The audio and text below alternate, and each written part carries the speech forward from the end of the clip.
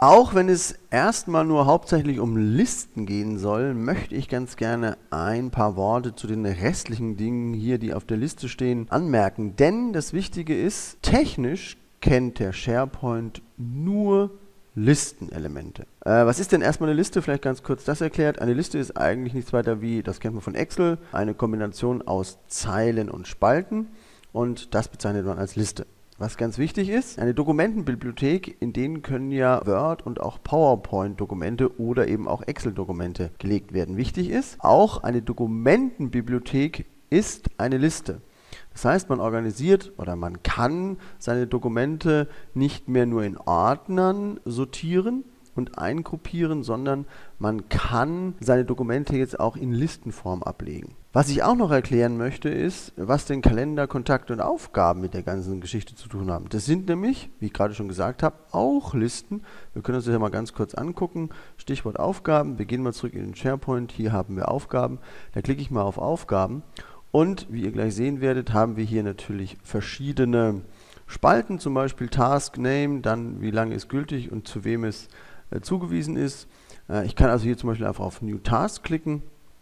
Dann kann ich einfach mal eine neue Aufgabe erstellen. Zum Beispiel sage ich mal, äh, wenn wir hier zum Beispiel eine neue Filiale bauen sollen, dann sage ich mal Grundstück suchen. wann soll das losgehen? Da kann ich sagen, das soll losgehen am 23.05. Und dann sollte das zum Beispiel beendet sein. Da gibt man ihm ein bisschen mehr Zeit. 30. Juni. Ich kann das der Susi sorglos zuweisen. Perfekt kann mir auch noch mehrere Sachen anschauen. Ist es vielleicht schon ähm, zu 20% beendet? Kann mir hier noch äh, eine Description anschauen und so weiter und so fort. Wie ihr jetzt seht, ist das sozusagen auch eine Liste. Also eine Aufgabe ist auch eine Liste. Was ist jetzt aber der Unterschied, ob ich jetzt sozusagen eine Aufgabe in Outlook oder in meinem SharePoint erstelle? Ganz wichtiger Punkt.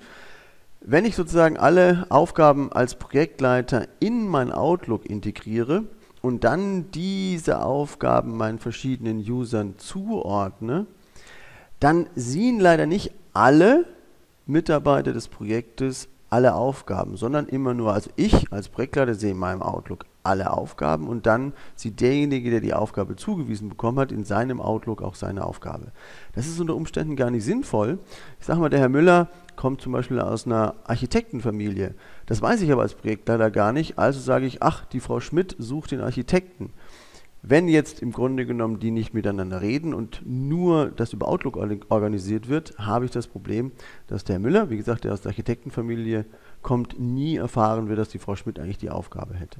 Und jetzt kommt die ganz wichtige Geschichte. Da ja auch hier Susi sorglos die Aufgaben sehen kann und auch unser an die Arbeit, habe ich einen riesen Vorteil, nämlich alle Mitarbeiter, alle Projektmitarbeiter sehen alle Aufgaben, können sich viel besser untereinander austauschen. Ich als Projektleiter bin ein kleines bisschen entlastet und es ist einfach genau das Ziel des SharePoints erreicht, nämlich, wiederholen nochmal, dass sowohl externe als auch interne Mitarbeiter besser miteinander arbeiten können. Ich möchte auch an der Stelle mal versuchen, jetzt den Punkt SharePoint ein bisschen besser zu erklären, weil nämlich dieses Wort sagt eigentlich sehr schön aus, worum es geht. Das heißt, hier an dem Beispiel Aufgaben werden an einem zentralen Punkt abgelegt werden dort geteilt und aus diesem Grunde kann besser miteinander gearbeitet werden. Das gleiche ist auch mit den Kontakten.